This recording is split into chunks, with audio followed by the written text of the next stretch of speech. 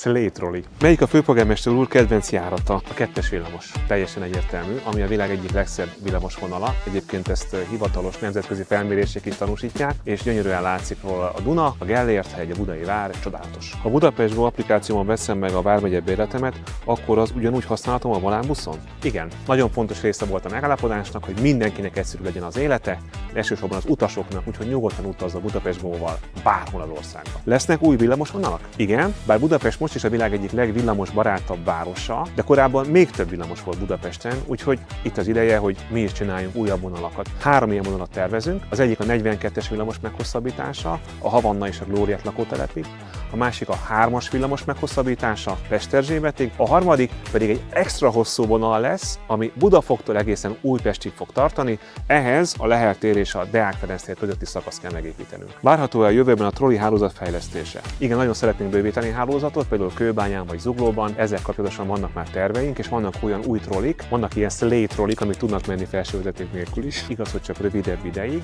de ezáltal egy sokkal hatékonyabb hálózatot lehet kialakítani, úgyhogy igen, bővíteni fogjuk a troli hálózatot.